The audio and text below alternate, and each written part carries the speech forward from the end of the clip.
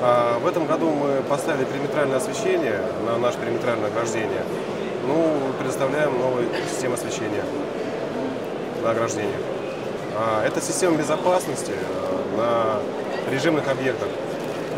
На последнем, допустим, форуме мы были, людей было поменьше, сейчас э, побольше посетителей и очень интересно. И много новых партнеров появляется, чтобы совместно делать систему безопасности.